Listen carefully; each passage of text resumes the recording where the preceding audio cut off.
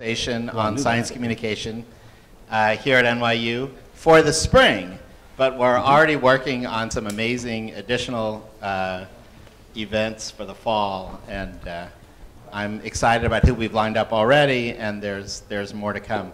Uh, I'm Dan Fagin. I'm a professor of science journalism here at NYU and the director of the Science and Health, Science, Health, and Environmental Reporting Program uh, here at NYU and uh, also director of the science communication workshops. Uh, and we love these events because we have both our journalists who are learning to be science journalists and our scientists who are learning to be better science communicators together, intermingling, which is just, just what we like to see. Uh, it's a, a, pleasure to have such a, a wonderful uh, panel lined up for our final event of the, of the spring uh, Ann Gibbons and Ian Tattersall are wonderful writers about human origins, each working from, the, from different perspectives, but each producing amazing stories. So I will leave it uh, to our moderator to formally introduce them, but just thank you both very much for coming. And uh, with that, I will introduce Robert Lee Hotz, Distinguished Writer in Residence here at the Carter Institute and science writer at the Wall Street Journal and the host of the Kavli Conversations on Science Communication. Take it away, Lee. Professor Fagin, thank you. So, welcome all of you to the Kavli Conversation on Science Communications. This is uh, wrapping up our spring series, and I'm particularly eager uh, to uh, dig in with our guests this evening. We have, uh, uh, under the sponsorship of the Kavli Foundation, and the NYU Carter Institute's uh, uh, Science, Health, and Environmental Reporting Program, uh, had a series of conversations um, this spring uh, about climate, about physics, about uh, the neuroscience of violence and genetic engineering, uh, but it's our own story that brings us together this evening. From the beginning, every human culture, every religion, Every civilization has had its special story of creation. Science shapes ours. It's our narrative of human origins. And yet, the science of human evolution itself is evolving so rapidly that the public is hard pressed to keep pace. I mean, really, what other field so thoroughly mixes science, sex, showmanship, religion, philosophy, ethics, health, and our species' insatiable appetite for self-knowledge. Now, this is a conversation this evening. I want to urge the people who have joined us uh, in person here at NYU to uh, ask us questions, and when you do so, uh, please seek out the microphone over on the side. And those of you who are watching us uh, online through the webcast, uh, I also ask you to join us uh, please do so by tweeting your questions uh, using the hashtag KavliConvo. KavliConvo. Now, I'd like to begin by introducing our two guests in a little bit more depth. Ann Gibbons, on my left here, has been a correspondent for more than a decade for Science Magazine, sort of the peer-reviewed Bible of uh, so much uh, publicly funded research. Uh, she's been uh, their specialist in reporting about evolution for at least the past decade. She's a former MIT Knight Fellow. She's taught at Carnegie Mellon University. And in a career that's taken her from field camps in Kenya to the DNA labs of Woods Hole, she's written hundreds of news stories about human origins. Um, and she is uh, the author of a remarkably uh, fine book called The First Humans, The Race to Discover Our Earliest Ancestors. And her sustained attention to this topic won her the 2012 Anthropology and Media Award from the American Anthropological Association. Now, I should tell you, for the purposes of our conversation this evening, uh, something about Ann that many of you might not know. She is, in fact, part Neanderthal, as no doubt are many of us here in this room this evening. Um, according to 23andMe, the genetic testing service, she owes 2.9% of her DNA to ancestors from that long extinct species, uh, slightly more, uh, I believe, than her husband. and I lord it over him. which is a kind of species characteristic we might talk about later. Um, now, if you're one of the millions of people who have walked uh, through the halls of the American Museum of Natural History here in New York in recent decades, then your sense of human origins has been uh, uh, profoundly shaped by the work of our other guest this evening, Ian Tattersall, who for many years was the curator at the museum and is now a curator emeritus. For 40 years, he played the key role in developing major exhibits on evolution at the museum, including its highly acclaimed Hall of Human Biology and Evolution. As a paleoanthropologist, he's conducted fieldwork in Madagascar, the Comoro Islands, Mauritius, Borneo, Nigeria, Niger, Sudan, Yemen, Vietnam, Suriname, am I leaving one out? Uh, French Guiana, Yep, Reunion, all of the above. and of course, Right. of course, the United States. Um, he's indeed. published I have indeed. Uh, he has published over 350 scientific papers, and again, for our purposes, 21 books uh, for the general public. Most recently, in 2012, I believe, uh, a book called The Masters of the Planet The Search for Our Human Origins. And that, Not my title, by the way. not your Not title? my title. The editors always win.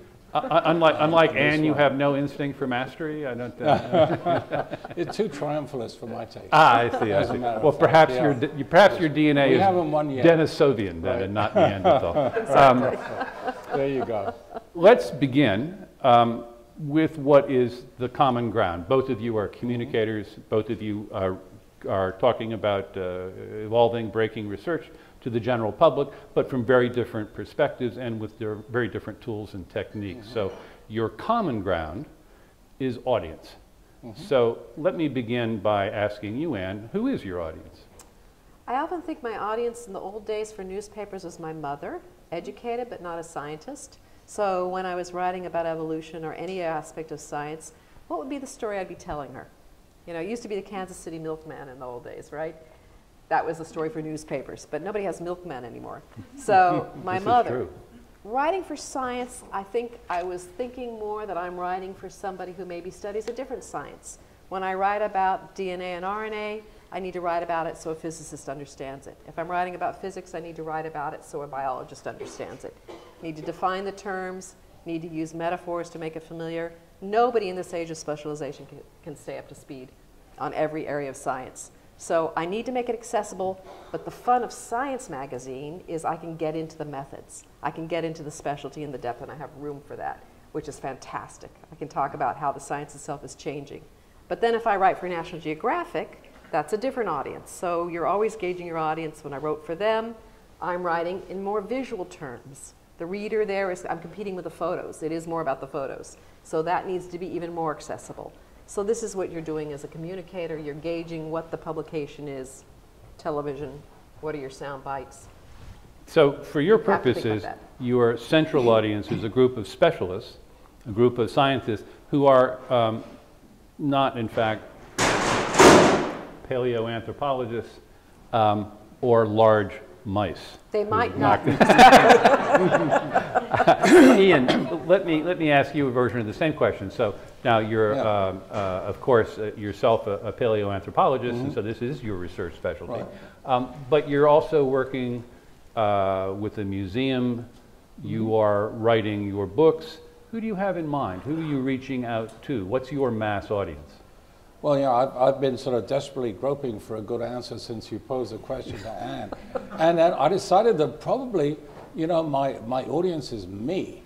Because I figure that if I can understand it, pretty much anybody is going to be able uh, to, to understand it.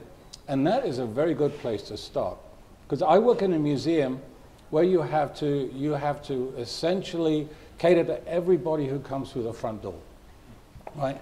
Uh, nearly everybody else, all of you other, uh, you know, journalists in various fields are all sort of writing for a target audience. You really know who that audience is. But in a museum, you don't, because anybody can walk in the door, and anybody has to be able to make sense of uh, what you're doing. And that makes working in a museum a particular, uh, particular challenge.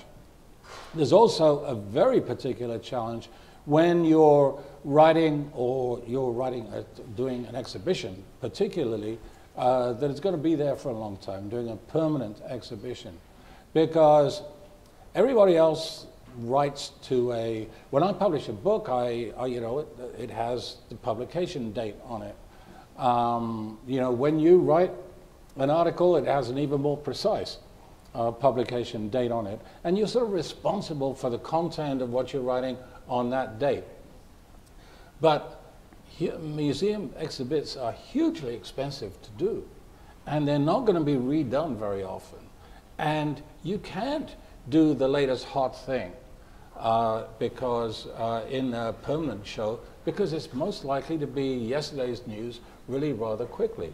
Mm. So you really have to think in terms of what you can convey that's going to be durable and will make mm. sense to people 15 years down the road and even 30 years uh, down the road. So uh, in, in the museum context, you have a very special set of uh, uh issues that probably most other kinds of writers don't face.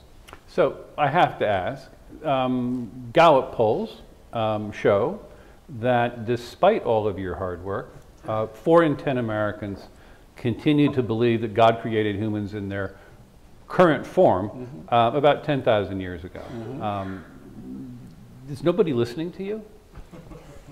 It's, you sometimes do feel like you're writing for the, you're preaching to the converted. You're writing stories for people who are already interested in evolution. However, there are certain news stories, the discovery of Homo naledi, this new fossil in the cave in South Africa, a small creature called the hobbit in mm -hmm. an island in uh, Floresiensis in Indonesia. Mm -hmm. People do hear about this stuff, and you'll go to the dentist or you'll mm -hmm. go out with your kids or whatever you're doing, and people will ask about this new discovery, and they'll remember a little of it. So those are great openings. And I feel that there's a huge opportunity for us to try to. I'm a journalist first, but I'm also an educator. So it's hmm. very important to teach people that evolution is a theory with a capital T. It doesn't mean that it's a half-baked idea, that it's the cornerstone of biology, that everything we know about vaccines and the evolution of viruses, this all comes from evolutionary theory and understanding it and looking for it in nature, whether it's studying the evolution of animals or mm -hmm. viruses or DNA or humans. Mm -hmm. And so there's, I have, there's a certain excitement in trying to teach this there are people who don't want to know this, that don't believe in evolution, and there's not a lot you can do to change that if they've made up their minds, the people that don't believe firmly. But there are a lot of people out there that just haven't thought about it. It's, it's what I talked about with the, deep, the issue of deep time. People don't understand mm. deep time. Yeah, I was mm. going to ask you about that. Yeah. We can come to that later then. No, go ahead. But, yeah. well, here's the, what I've been thinking. I'm thinking, why do people not understand evolution? And I think a lot of that is that they don't understand the difference between modern humans showed up about 200,000 years ago in Africa. People that looked a lot like us, didn't act like us, but they looked a lot like us, the earliest members of Homo sapiens. The earliest members of our genus Homo showed up about 2 million years ago. This is when a little before the brain started to take off. 2 million versus 200,000 is a big difference. But the first members of the human family, things that walked upright, showed up 6 million years ago or so, or 7, somewhere in that ballpark. These numbers are like Imelda Marcos' shoes. You know, these are numbers too big for most people to fathom. They don't have a sense of what they mean. And if you have a sense of how long that is, then you can understand how one creature might evolve into another creature, how it might give rise to offspring that over time, if they're separated from each other, would adapt differently to different habitats. And you would get different kinds mm -hmm, of humans. Mm -hmm. You'd have as many different kinds of humans as you have different kinds of antelopes. Mm -hmm, so, so, are you are you telling me that the, are you telling me that the only problem here is that they have the wrong kind of wristwatch? that you mean that they can't keep time? That's one of the problems. I think it's also how we teach biology. I hope that you know schools need to be teaching evolution. It is fundamental. It needs to be taught not as some controversial idea, but as the fundamental cornerstone for biology. Mm -hmm. And we need to be giving real examples in the world. Mm -hmm. And mm -hmm. so we're working with educators to do that. As journalists, we can't make up that gap, but we can give out vivid examples. And I did write an op ed once for the LA Times about how here's evolution in the human family. We can see it from these species that lived between mm-hmm. four and three million years ago, the Australopithecines. When you look mm-hmm. at um, Anamensis to Lucy's species, Australopithecus. You can actually see evolution in one lineage. It's amazing. It's in the human family. You don't have to just look at other creatures. So Ian, the same thing to you. You've invested a, a, a, a long and energetic life as a scientist, as a museum uh, educator, and as an author in uh, uh, trying to get us, trying to persuade us. Um, Yeah. Were you holding uh, a flower against a stone and waiting for it to take root? Well, you know what's happening here is you know a lot of uh, um, questions have been raised just in the one simple uh, uh, question that you initially raised. As far as the deep time thing is concerned, I have a really kind of a neat story about that because in my um, in my the, course of my work at the American Museum, I've accompanied a lot of tours, and uh, particularly tours with uh, wealthy uh, people on them. And I remember I was going around Africa with uh, a tour that included a, uh, a, a, a Chicago uh, property baron, and I was talking about human evolution in, um, in Africa. And after, afterwards, he came up to me and he said, You know, I don't know how you, you, you think in all those millions and millions and millions of years, just implying exactly the same problem that, um, uh, that Ann brought up. And I, for once, I had the perfect riposte. I said, I don't know how you guys think in all those millions and millions and millions of dollars, right? And in fact, that's all it is. It's zeros, everything is relative. We understood about evolution long before we could ever put a year date on anything that had happened in, the- in, the- in, the history of life, but some things obviously happen before others. And just think about the millions of years uh, as, a, as a sort of way of placing things in time and not as numbers to be comprehended uh, for their own, their own particular importance. So that's, that's, my, that's my take on it there. I'm not worried about, about the numbers because the numbers don't mean anything. We're not numerologists. We're just paleontologists and trying to, to rank things in the order in which they, uh, they occurred. As for the question of evolution, evolution as a controversial thing, evolution as an idea that contradicts other people's received ideas, I think that the basic issue here is the way that science is taught in uh, American schools, and it tends to be taught as a system, as an authoritarian system of knowledge.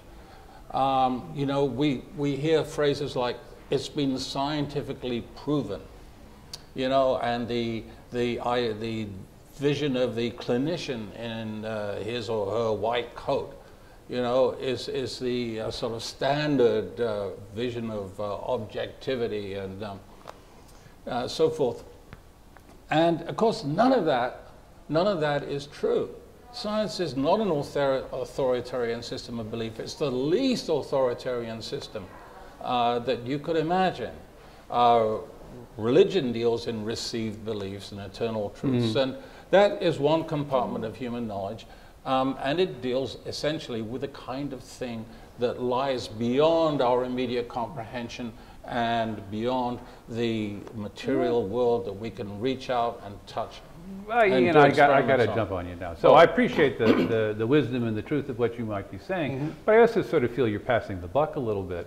Um, I mean, let's just stipulate that it all is the fault of the American school system, Mm-hmm. okay?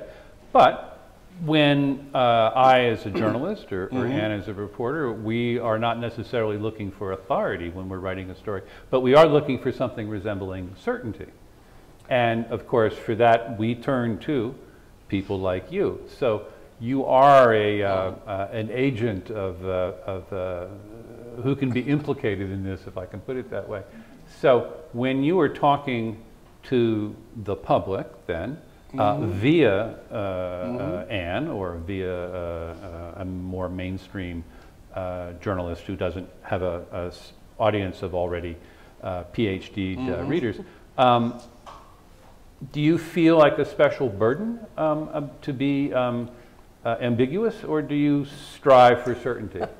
No, I, I you know, I, I really, uh, I, I, when, when I hear the word certainty, I became, become extremely uh, uneasy, as a matter of fact. And, you know, if, if we have to delve into literature, we must. Who was it? George Morrow or whatever?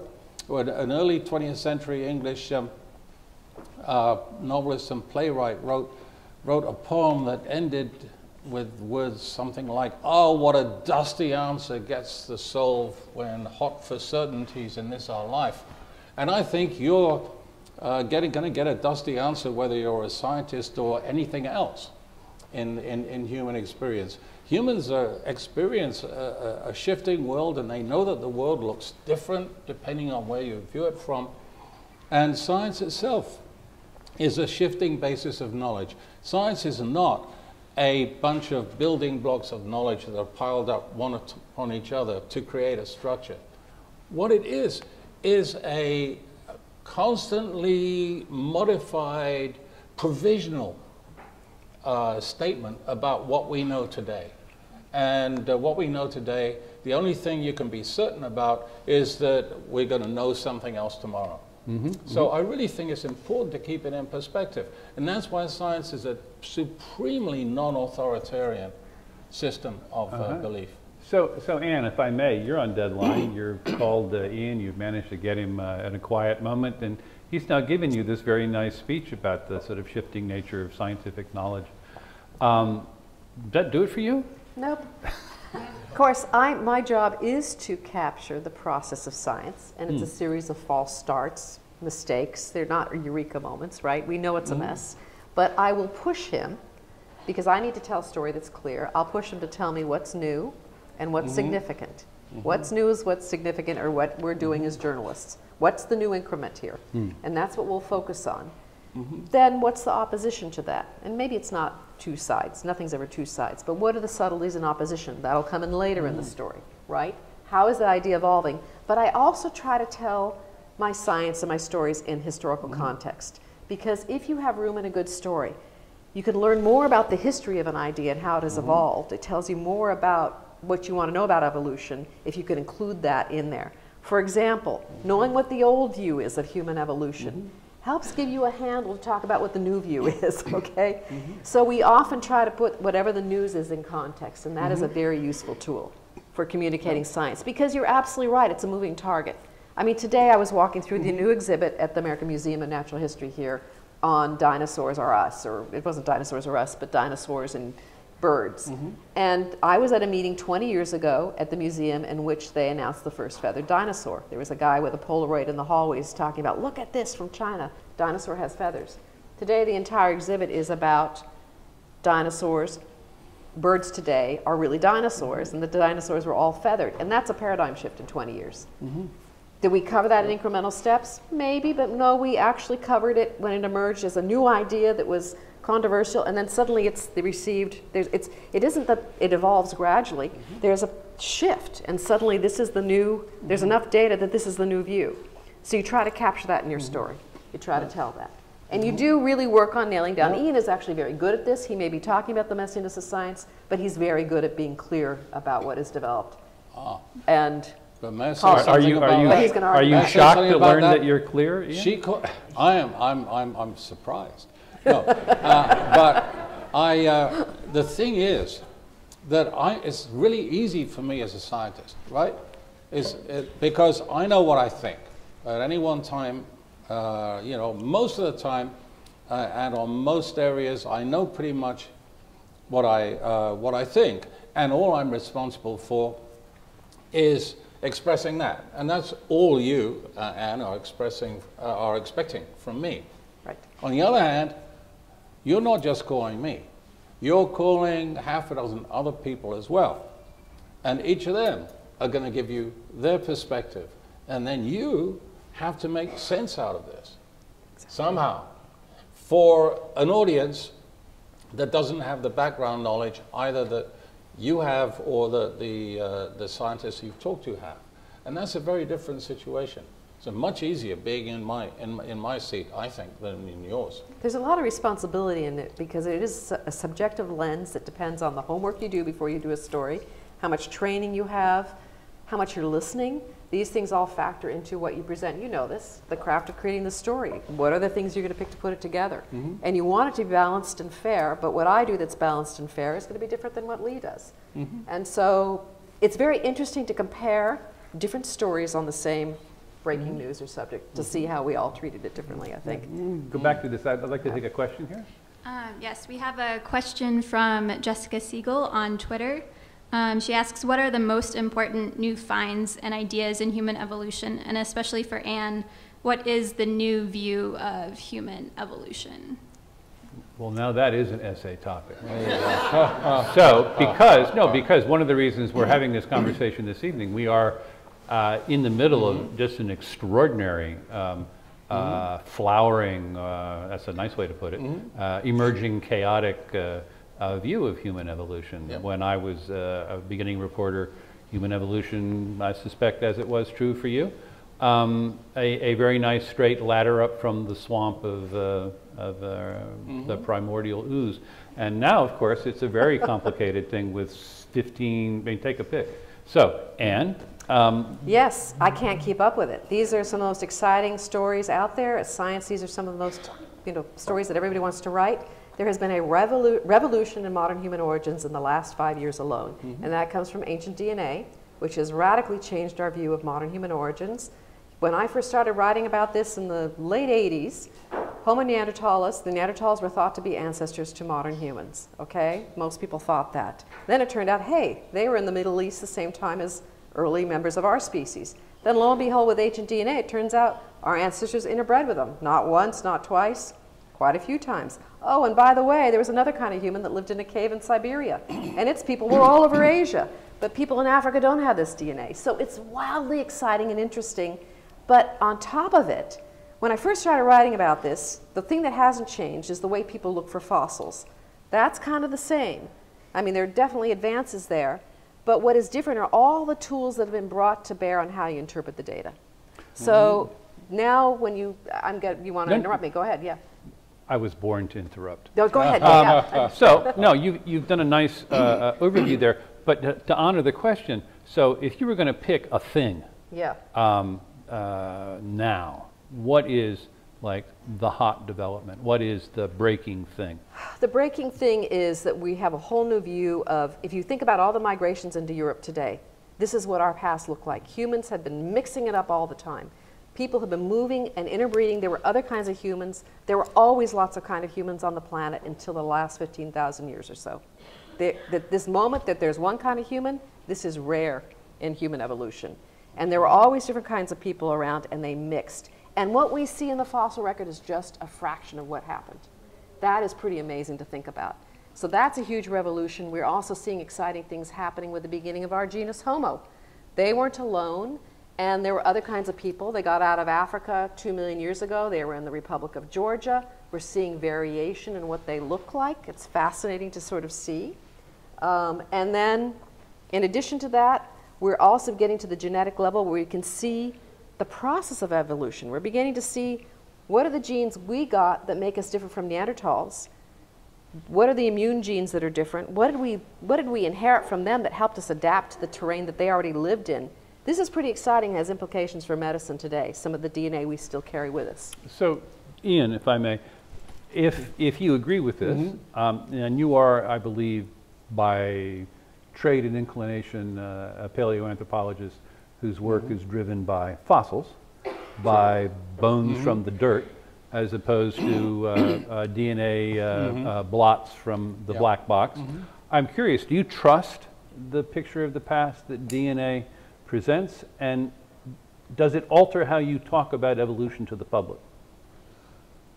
I think it has to uh, alter the way you talk about evolution to the public because everybody's heard about it and everybody wants to know about it. And so it has to be made part of the story. Whether it makes me think differently about the fossils, I'm less sure.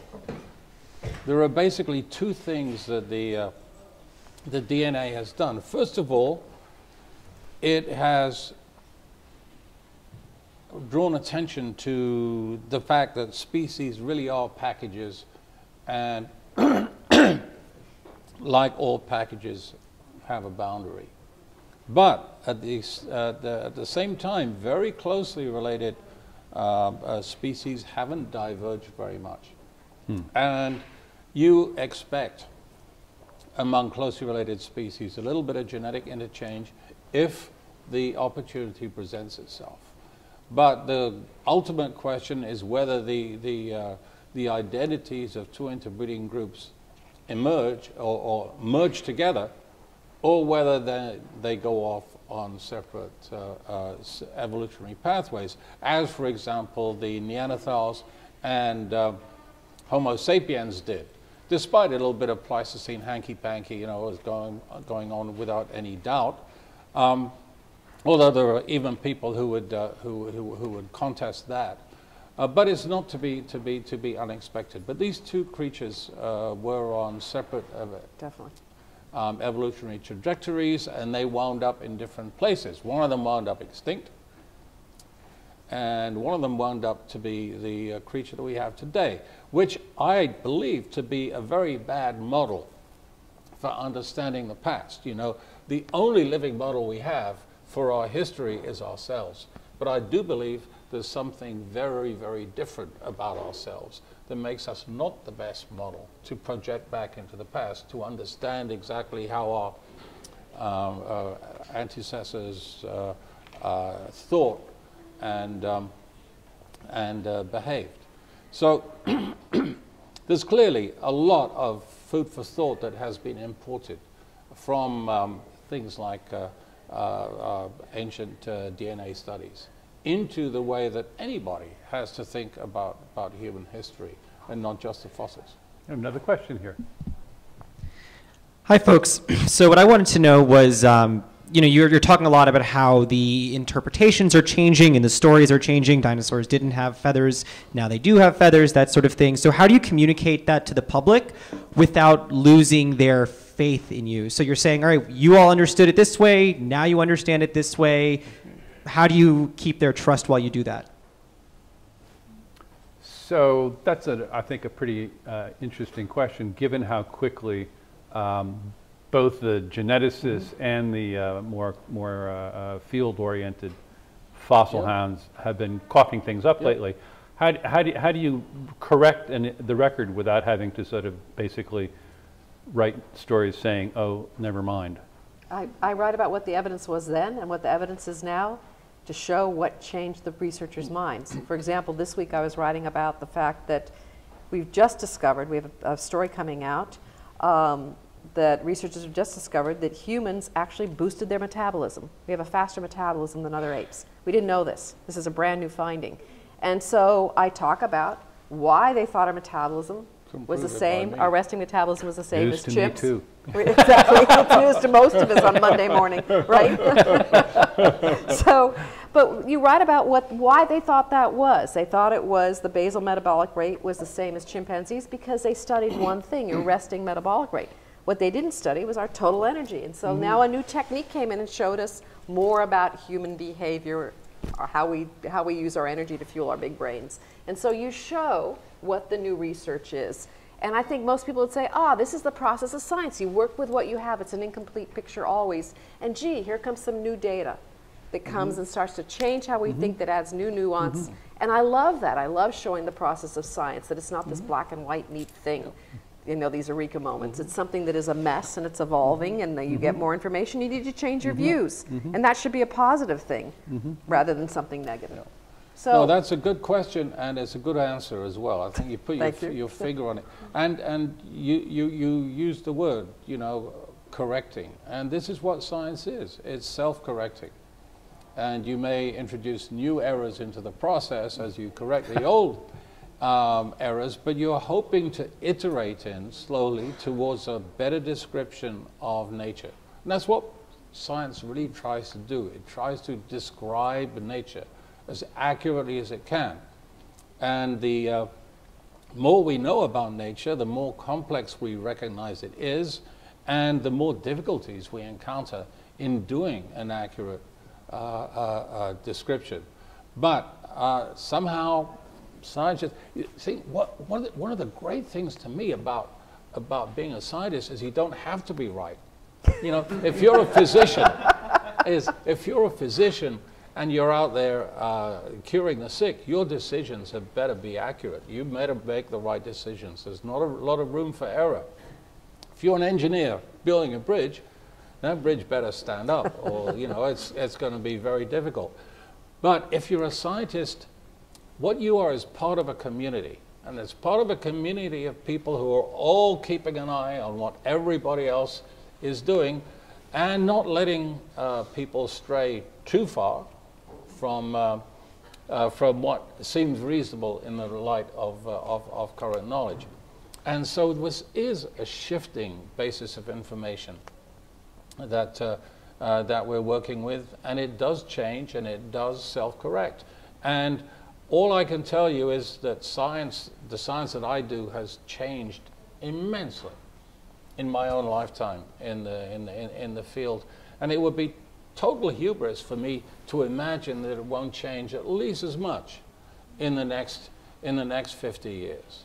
But we will, along the way, have contributed to this constantly modifying and hopefully better description of nature that we're all contributing to. And as individuals, we don't have to be right.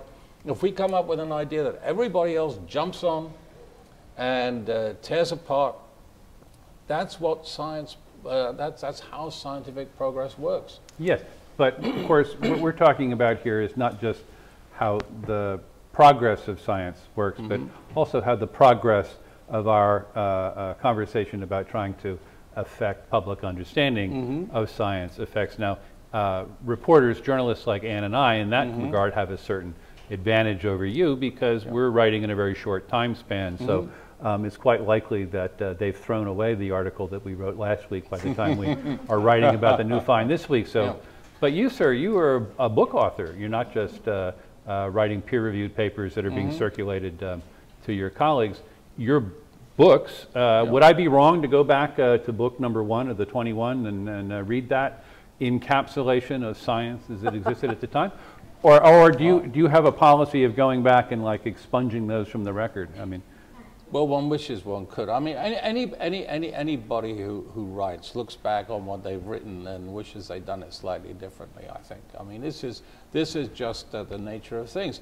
I'm not ashamed that back in the 1960s I wrote about a, uh, I wrote a book about human evolution, about which I knew very little at the time, that basically described it as a, a, a gradual process of burnishing of our lineage by natural selection. And, you know, I look at it now and I say, holy moly, how could I ever have fallen for this? But nonetheless, that's how I felt at the time. And I, without starting in that place, without starting in that place, I could never have got to where I am at now. And because what I am at now is, is a, uh, is, you know, uh, Anna's used the word messy. Yeah, is a realization of quite how, how messy nature is.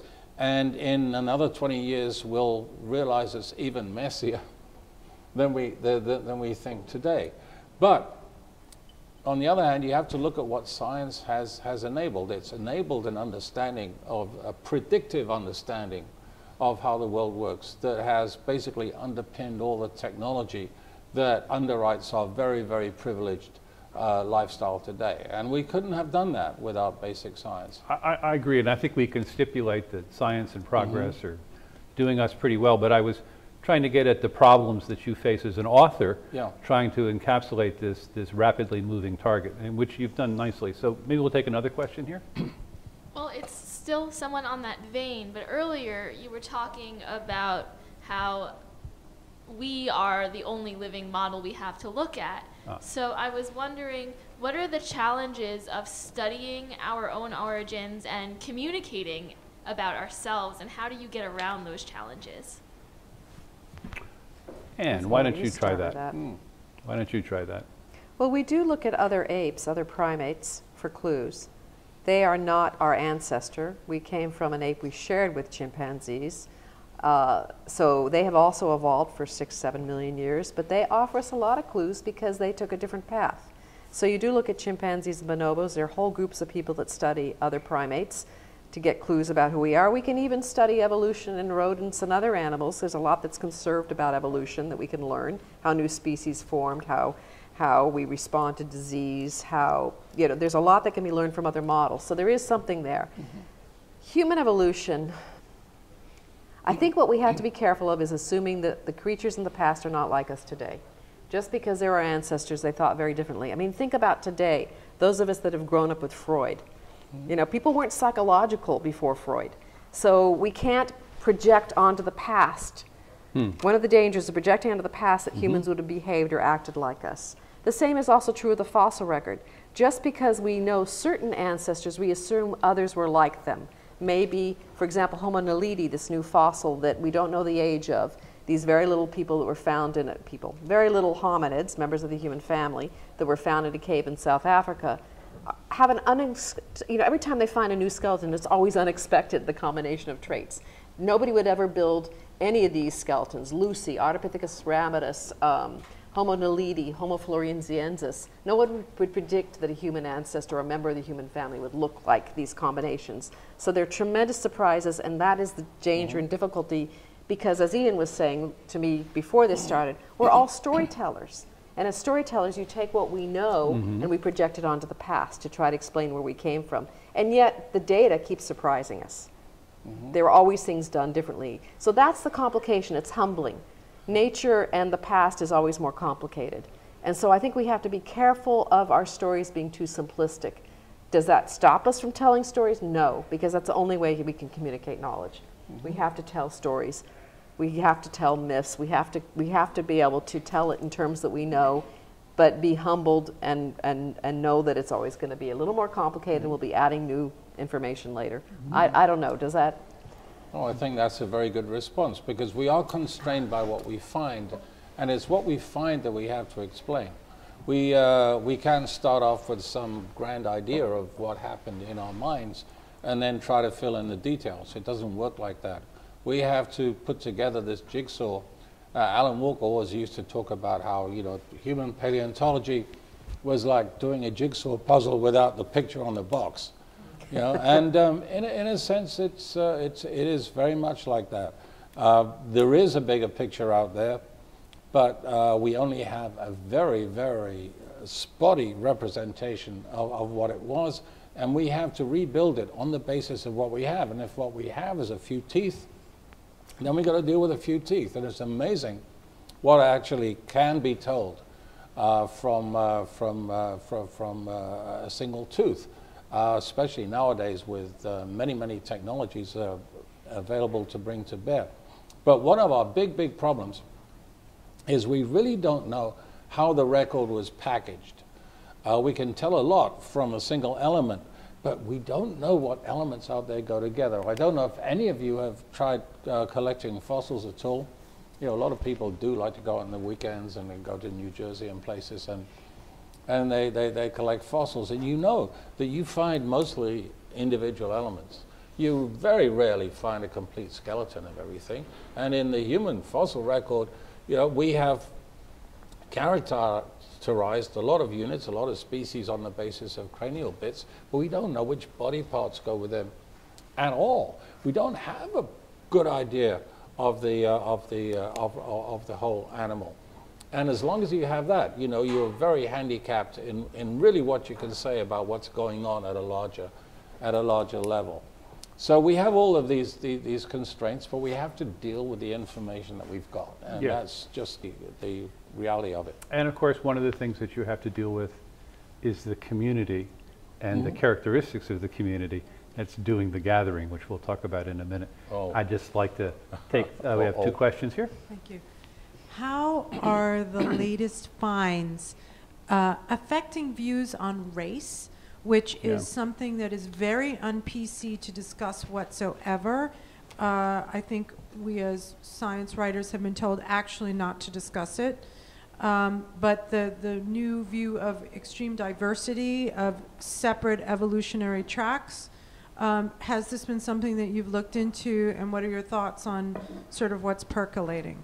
I think that's an excellent question, and it's a point I think we ought to discuss. So how do ancient finds affect modern debates about race, ethnicity, nationalism, uh, just for the sake of, of anchoring the, the conversation? We've just recently seen the Army Corps of Engineers finally confirm uh, the, the DNA of a, of an, uh, depending on how you want to count these things, early or late North American, uh, is in fact belongs to uh, Native American, uh, not European. And on the face of it, one would sort of think like, well, who cares? Yet, as you know, this has been the center of a debate for 23 some years Yeah. about um, claims of the present on the past, territorial claims, uh, claims uh, of race, of ethnicity. So, what do you say to this? Well, there's a couple of ways to, to, to approach this. One is to point out right off the bat that races are sort of a, a mental construct that we have. And when you actually come down to uh, trying to sort people into races, you find it's impossible. That, that there's no way to, to draw, um, you know, hard, hard and fast lines among all the many different varieties of, of human beings that you see walking around in the street. We're part of a huge, a huge continuum, and the race is, is it comes from our, our sort of uh, need to sort of characterize what we see around us because it makes it easier to, to, to think about it. So uh, what the genetics are certainly telling us is that uh, the, the, the, the human species is one big mixture.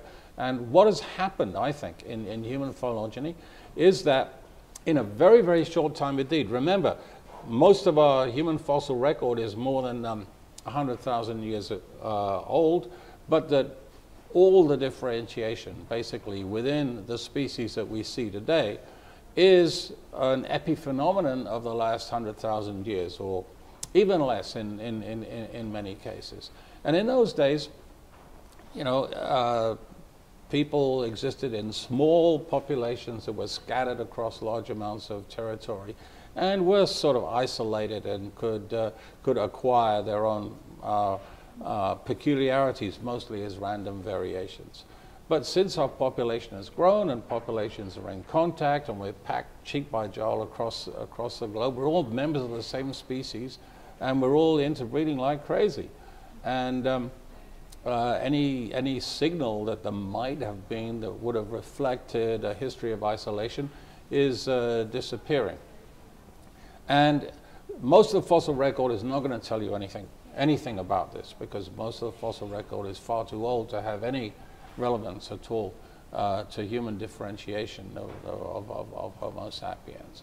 And uh, it's really the, uh, the genomic uh, work that is, is helping us to sort that out.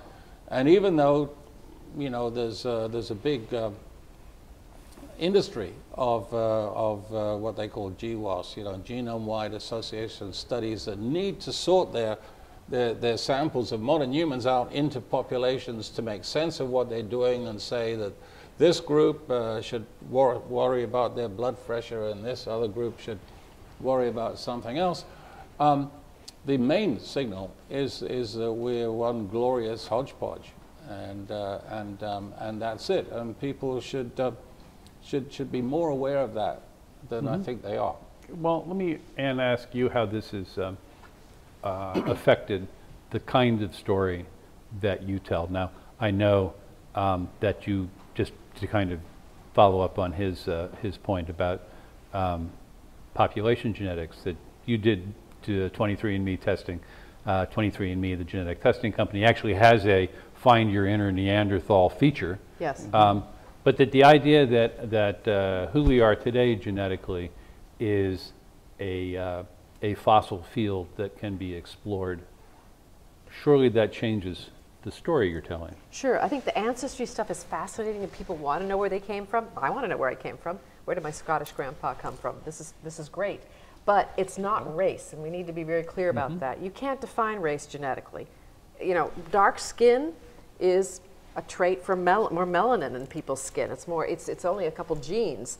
And you can have people that are entirely different genetically with the same physical skin color, but they have nothing in common with each other except that their ancestors lived in a place where they had lots of ultraviolet radiation. So I write about that. I wrote about the evolution of skin color. I did a whole story on that. And it's fascinating to look at what really the evolution of skin color is about. But it has nothing to do with race. And then the other part of that that's fun to communicate is that Homo sapiens, we have less genetic diversity, everybody who lives outside of Africa, than any two subspecies of chimpanzees left today.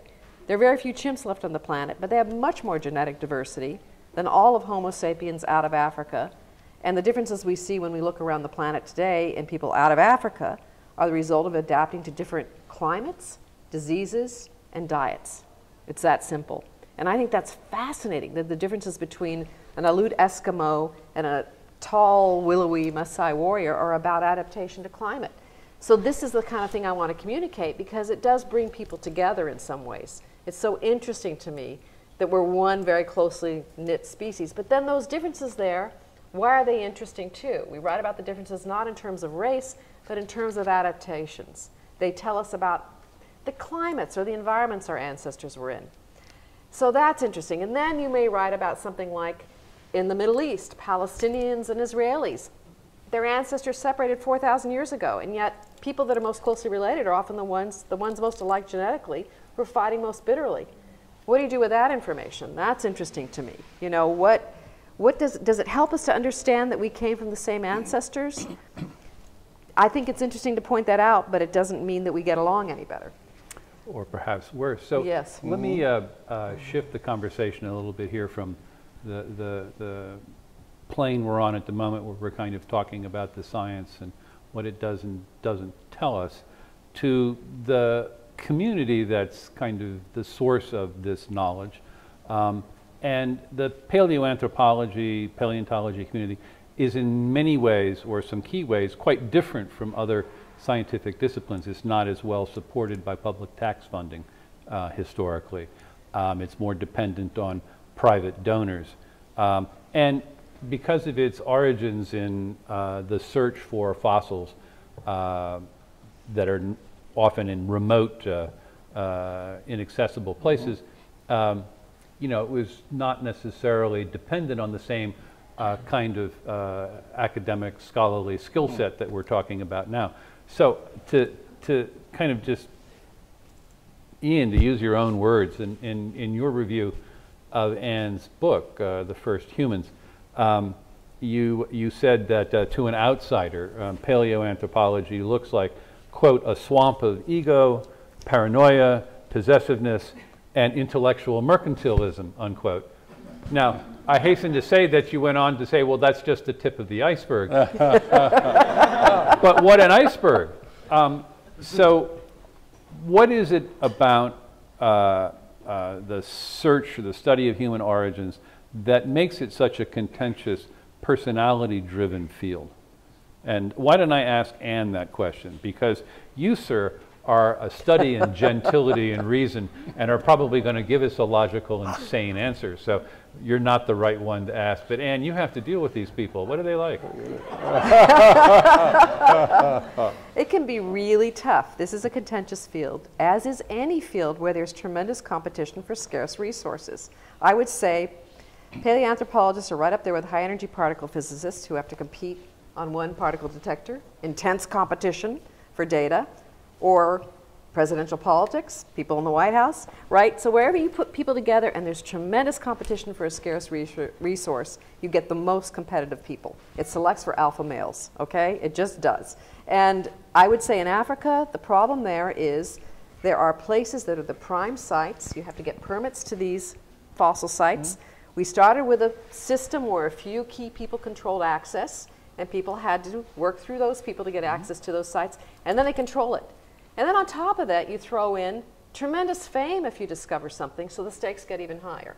And it can be very cutthroat. People, some people have come into the field because they want that fame. Not everybody. There are fossil hunters that are in there. I've seen people in the field. Um, I will say Meave Leakey, totally in love with the fossils. That's what she lives for, is working with those fossils. I mean, there are people out there that that's what drives them. There are other people who the fame is exciting for. And so it can make it very cutthroat. There's a lot of jealousy. There's a lot of fighting. There's corruption sometimes in the countries for getting permits. The, I, in my book, I wrote about one team that stole another team's site. I wrote about one fossil hunter who was thrown into jail, another one who pulled a gun on someone. I mean, this is really bad behavior. And, and I have to say, the challenge for me in writing that book was moving between teams and not upping the tensions and getting them all to talk to me. There were people that thought if I talked to one team, it meant that I was in opposition to them. And I was trying to move between different camps and not fan it and just tell the story.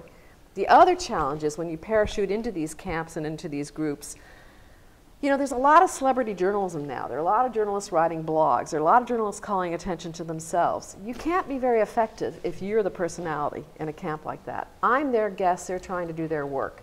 I need to go in and be low key. My point is, I just want to fade out. I want to go in and observe and see how they really do their work. And that's a challenge, and you need to get to the point where people trust you enough that they forget you. And so that can be really interesting to go into camp and try to be low key, not get sick in tough conditions, not get exhausted, be able to, you know, the, these people running these camps have tremendous challenges because they're trying to work in conditions with scorpions, snakes, wild animals, incredible diseases where there are no roads. I mean, I spent days with one team negotiating with the local tribal people who had AK-47s were fighting each other and threatened us. And, you know, trying to work in that environment is really tough in keeping people well. This to me is exciting stuff though. This makes for great stories because the personalities, okay, what I'm trying to say is science is a social process. And we'll to, if we forget that, we're in trouble.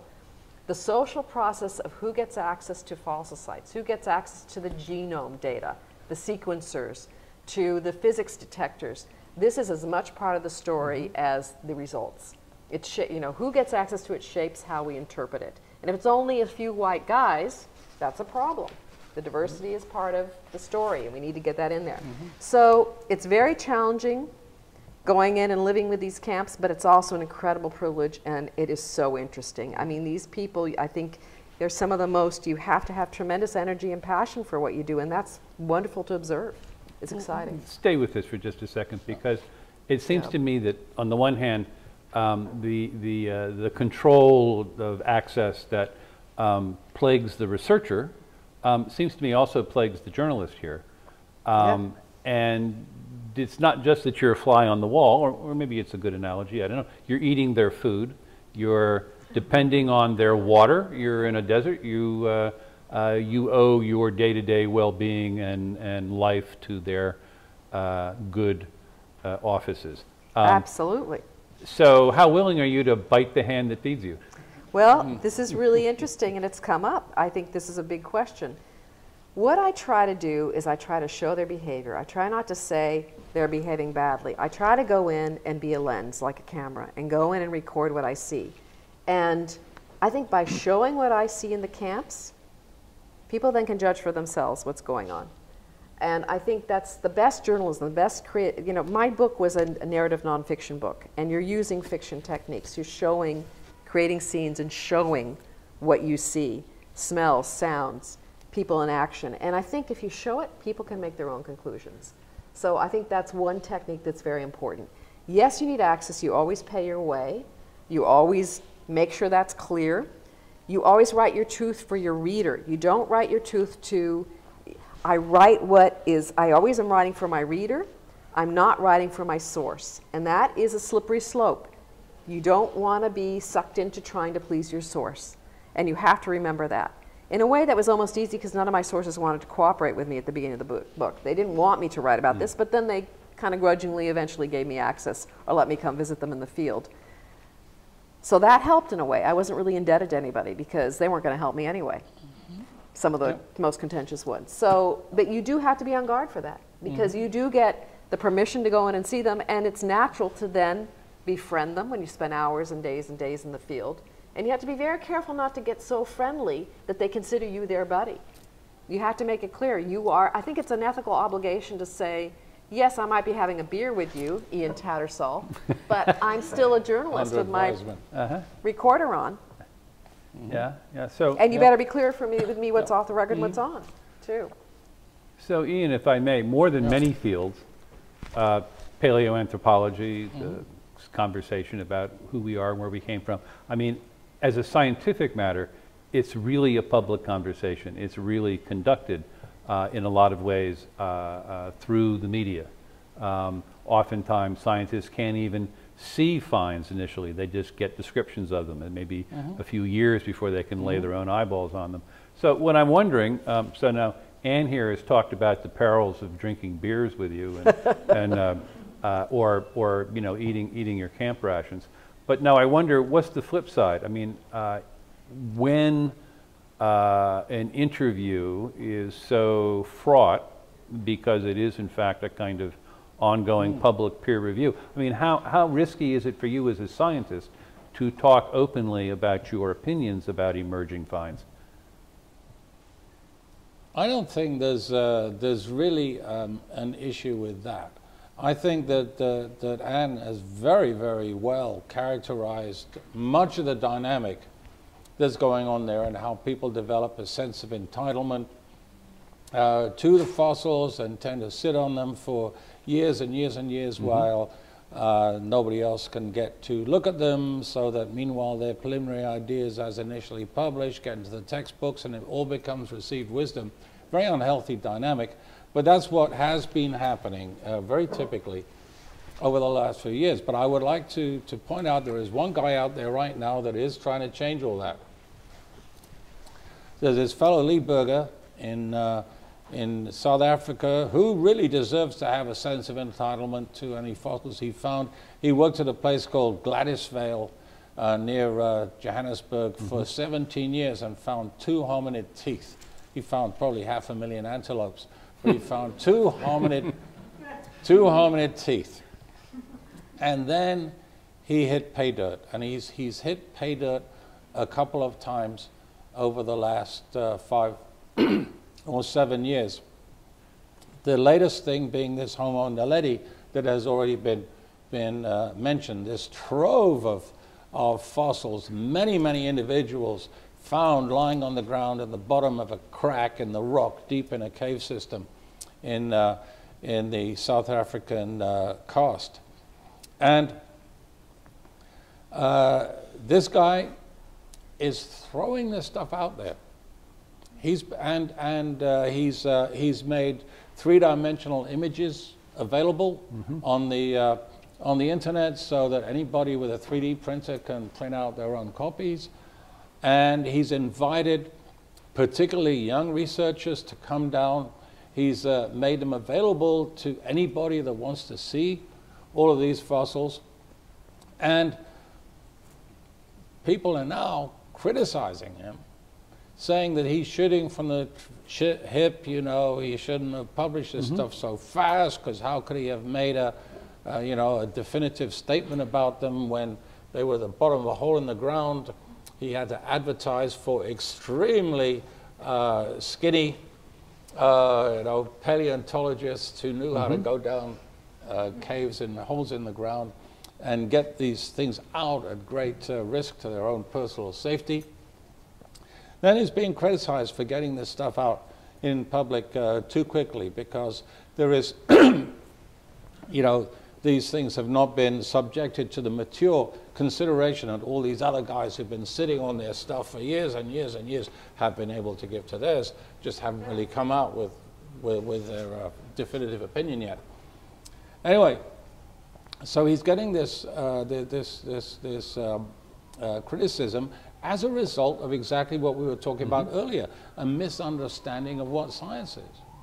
The sooner you get that stuff out there and the sooner you get people talking about it and comparing ideas about it and looking at the stuff and actually examining it and comparing it to, to, to, to other things, this, the, the quicker scientific progress is going to be made. The quicker this provisional system of knowledge we have about human evolution is going to, to advance and take on um, a, a, a more, a more accurate form. I- I'm glad you brought this, him up. I was going to ask you Yeah. all about him, and I want to return to it when I let um, our, our friend Professor Fagin there answer a question. Okay. But the idea that in addition to the various technical things that are happening, that there is an open source transparency revolution in progress. yes.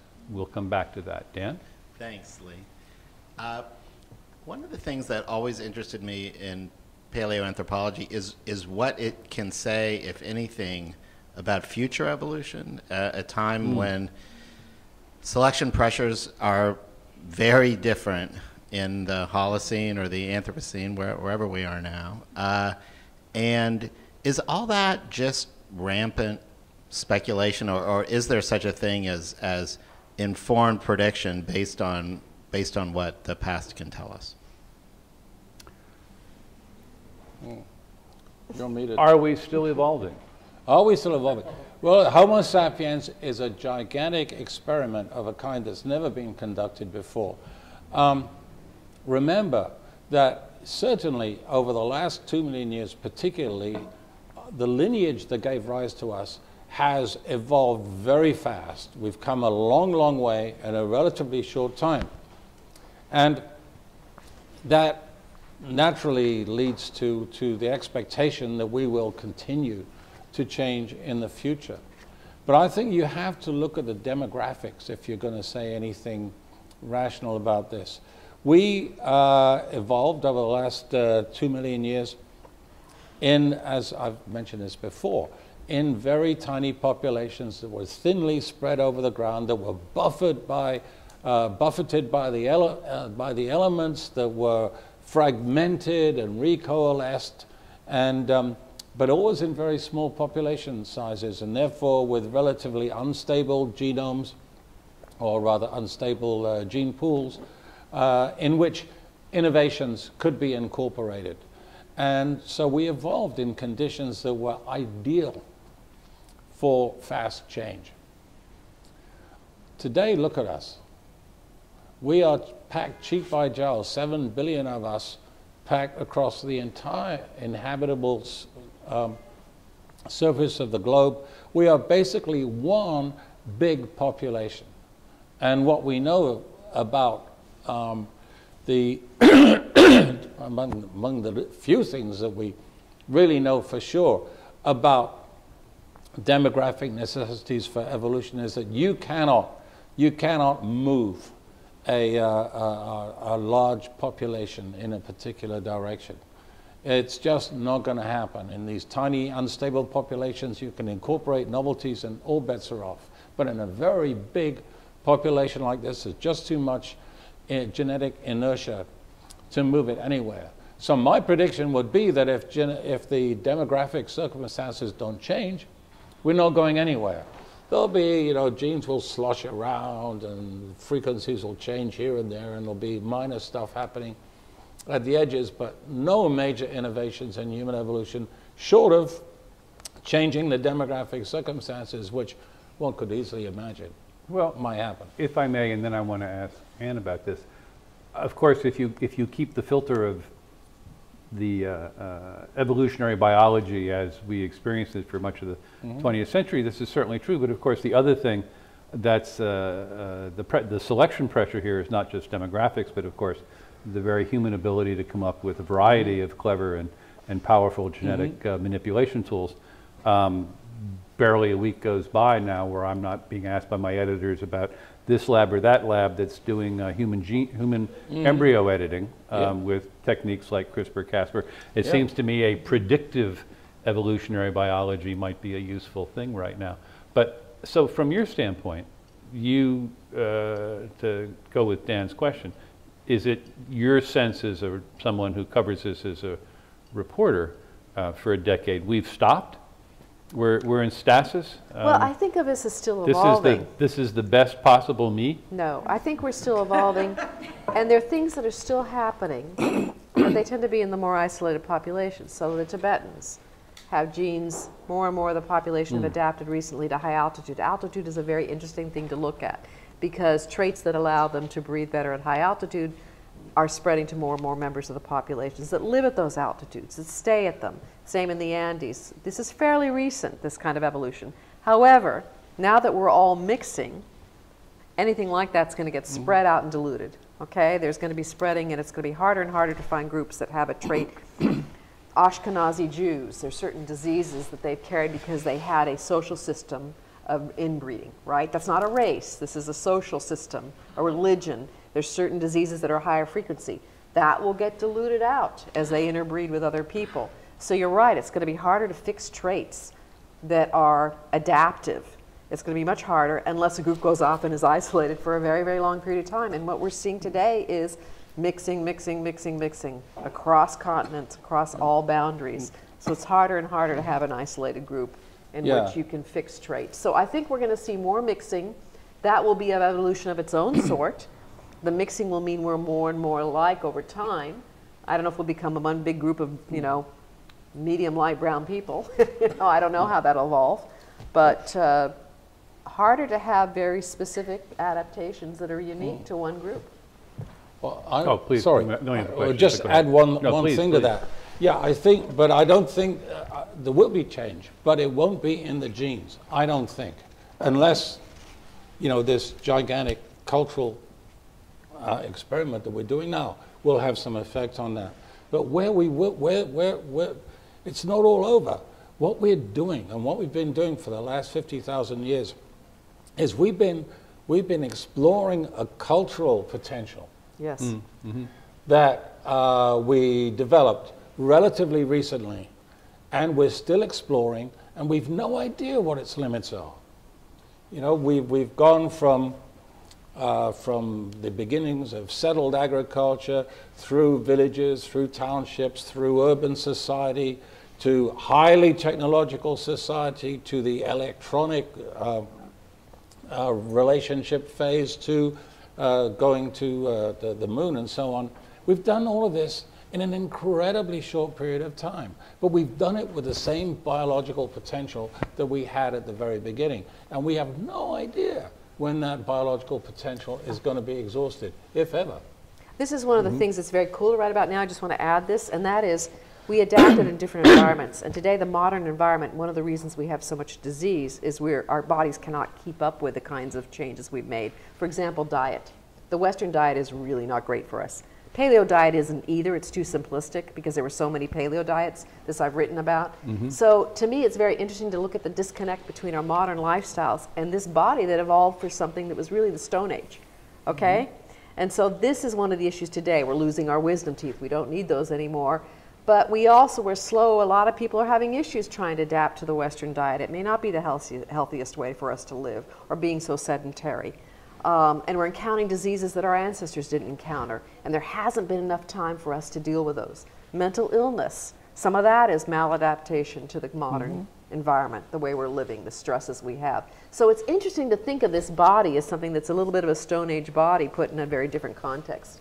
That's interesting. It doesn't mean that we are still evolving, but maybe not as quickly as our cultural changes, right? And so that's a really interesting thing to think about and write about. So we have a question here? Uh, and you talked about how there's so many uh, important discoveries that have been made in the last five year, a, a real revolution.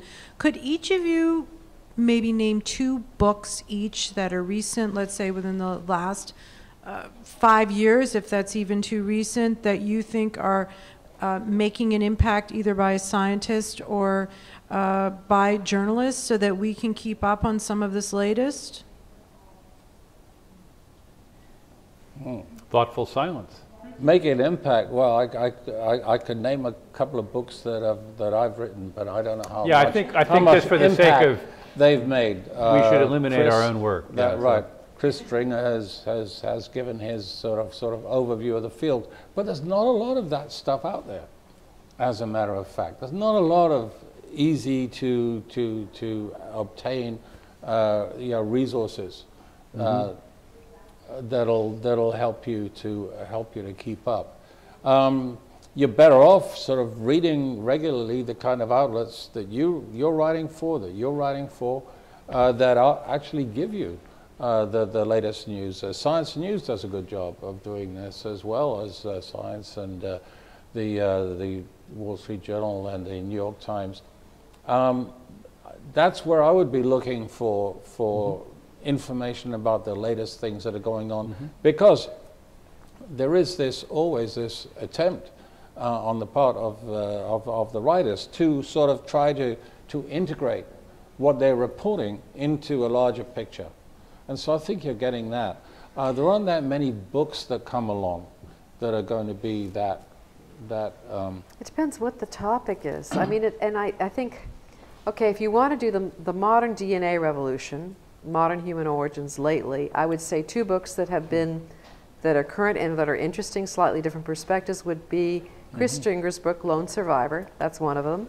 But the other, Svante Pääbo wrote a book, and Yeah. he's been the key player in the revolution for using ancient DNA. It's a memoir. It's a really good book to get a sense of the field of ancient DNA, where it came from, its history, recent history, and changes. Um, beyond though that, to write about the fossils, I tend to still go back to older books. You know, um, that's a little harder. Um, Carl Zimmer's written some nice overviews. They tend to be more overview books. Uh, one of my old colleagues, Roger Lewin, wrote a great book, Bones of Contention, but that goes back to 1987. It's dated, but it gives you some great history. I try to do that in my book. Um, Stephen Hall, who's here in the audience, has written some wonderful books about evolution that I really like. Um, Jamie Shreeve writes beautiful books about human evolution, although he, they're a little bit older at this point. He wrote some great stuff about the genome, Human Genome Project. So um, those are some of my ones that come to mind, right? And I will think of many others later that I that I missed. We'll that tweet you for the list.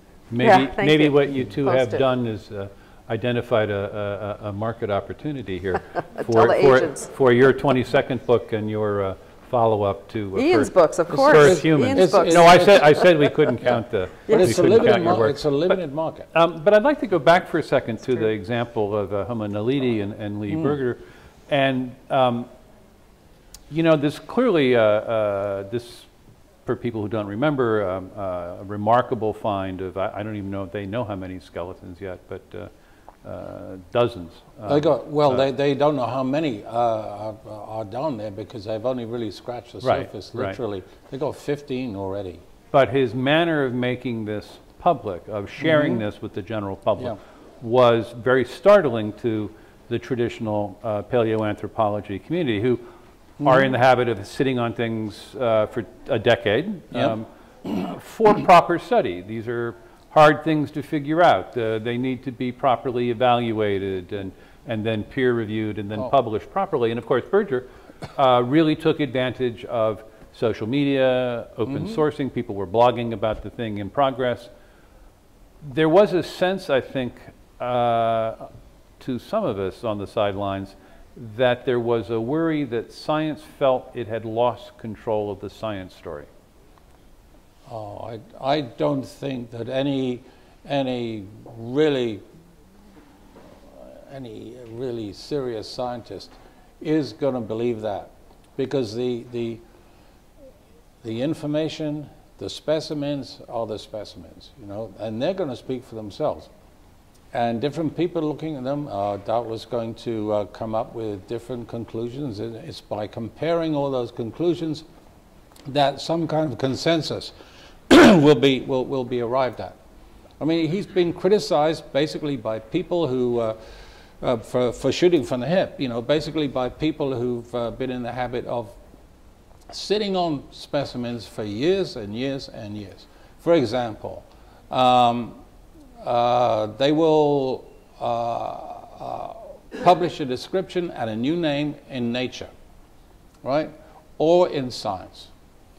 And these are journals of very wide circulation, journals which are very, very widely read, and yet the papers are very short, uh, typically, and uh, you have a, a summary description and you have the new name, and the new name's out there, and the rest of us have to deal with it, right? But then we hear nothing, we hear nothing. We go, we travel thousands of miles to go to try to see the fossils and are sent off with a flea in our ear, all sorts of things. Um, these, and meanwhile, the original, which is the original shooting from the hip thing, you know, gets into the textbooks and uh, a particular idea about these specimens becomes received wisdom. Um, and then maybe 15 years later, uh, the, the monograph comes along.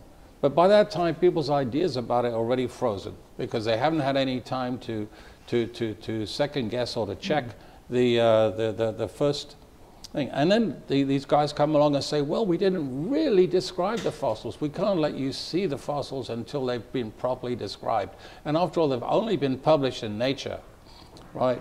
Circulation, God knows how many scientists see that. So, well, it's been published in, uh, in Nature. That's not really a publication. That's not really a publication. It's just an announcement. They just wanted to let people know.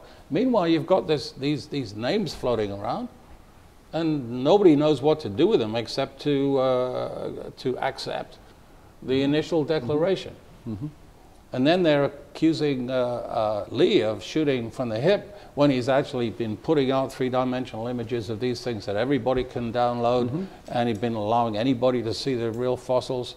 Uh, we got a skeleton of, uh, of uh, Australopithecus sediba at the, uh, a, a cast skeleton at the American Museum before it had appeared um, in print.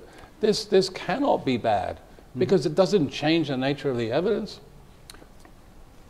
does not necessarily change the nature of the evidence, and it may speed things up for you as a scientist. But in terms of the frame of the general public knowing about these things, I mean, now, and I, I, correct me if I'm wrong, but wasn't that announcement timed to sort of coincide with the debut of a television documentary? Yeah. So that in fact, news of these finds had been delayed for more than a year and a half uh, because of the exigencies of filming for this documentary, which was part of his funding package. I'm not picking on him.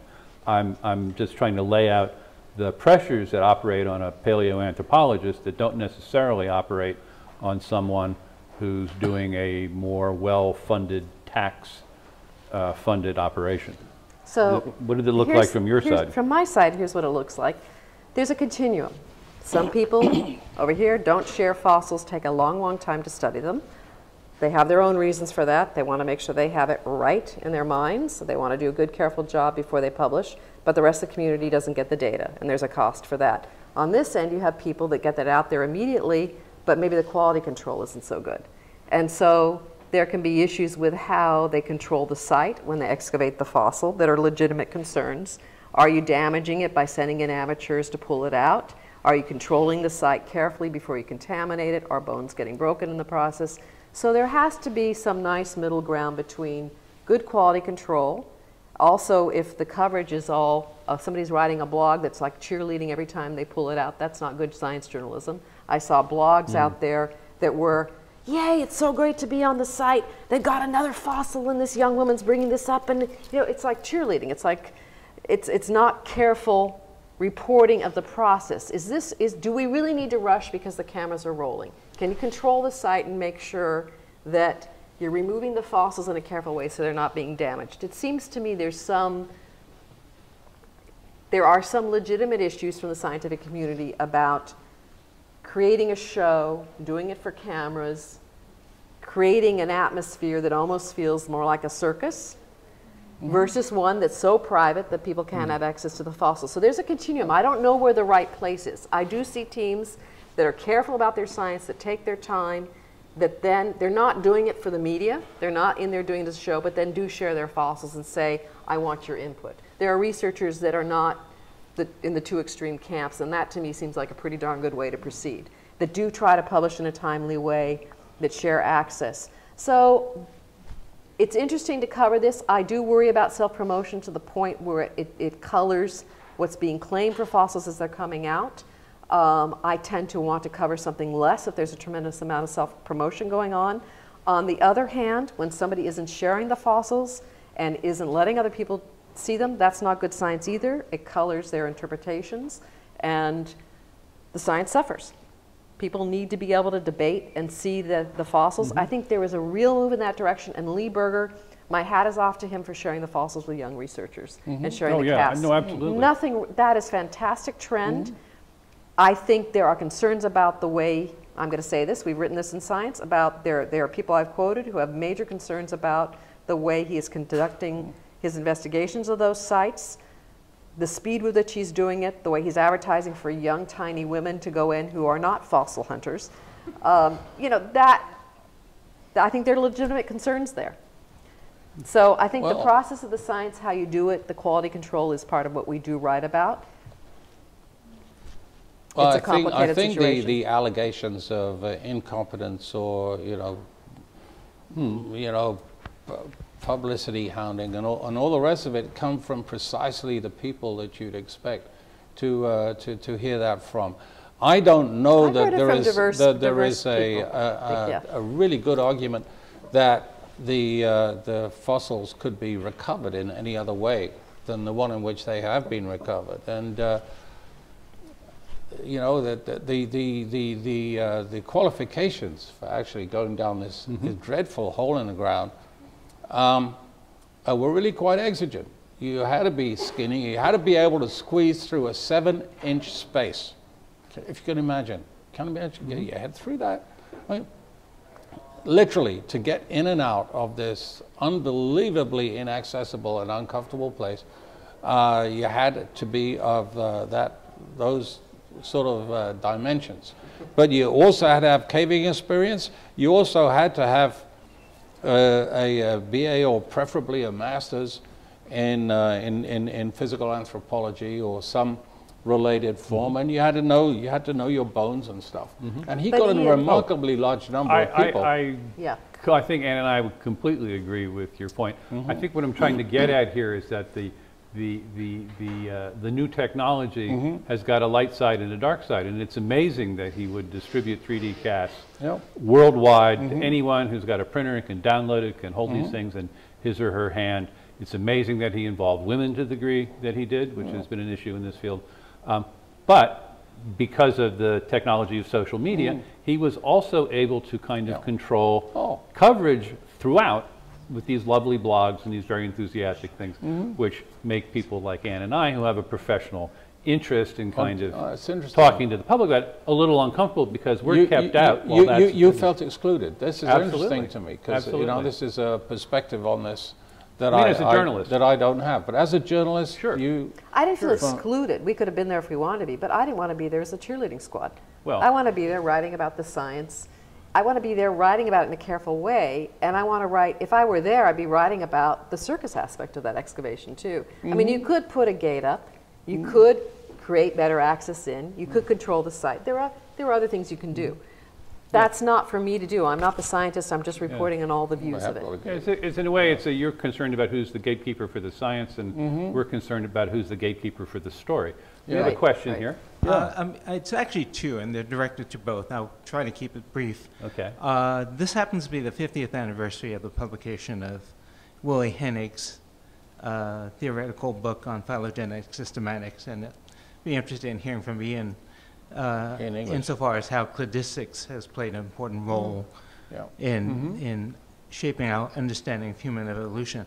Yeah. And as for Ann, uh, do you see what's going on now in terms of the turf wars between various paleoanthropologists, analogous to what went on in the American West back in the late 19th century between O.C. Marsh and Edward Drinker Cope?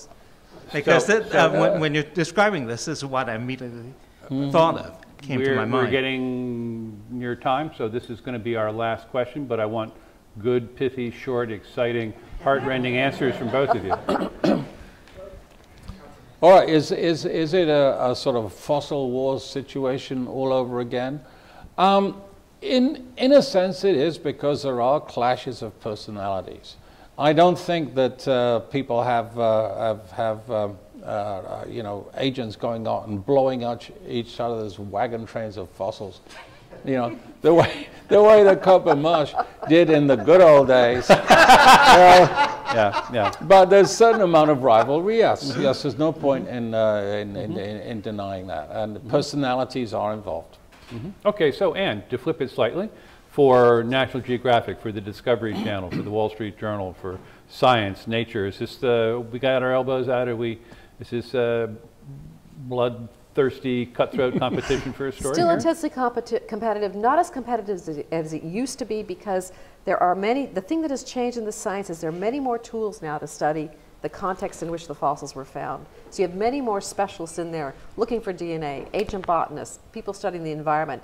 50 people may be on one site, all with PhDs in different areas. And so that has brought a lot more people into this science. There are more women and more Africans running these sites, and the younger generation is not as tolerant of the turf wars. So I see a big change. I think there's actually been a real shift in the field. There's much more access. The big constraint is getting funding to do the field work. Funding is terrible in this country for evolution.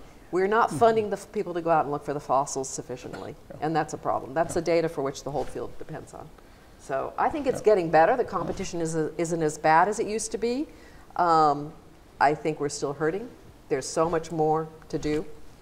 Well, I, I just have to say, in conclusion, that if the kind of uh, uh, cooperation and, and uh, uh, meeting of minds that we have seen here between the two of you this evening, um, if that's, if that's the state of the field, I want to say that Au contraire, you're in extremely good shape because you've given us a remarkable uh, tour of the science and the social and journalistic implications of this new field.